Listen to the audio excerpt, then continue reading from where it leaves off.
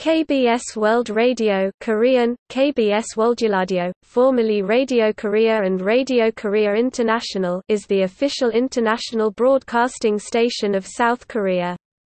Owned by the Korean Broadcasting System, the station broadcasts news and information in 11 languages, Korean, English, Chinese, Japanese, Indonesian, Arabic, Vietnamese, Russian, German, French and Spanish.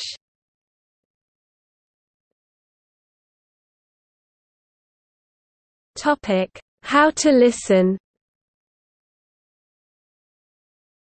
Internet homepage.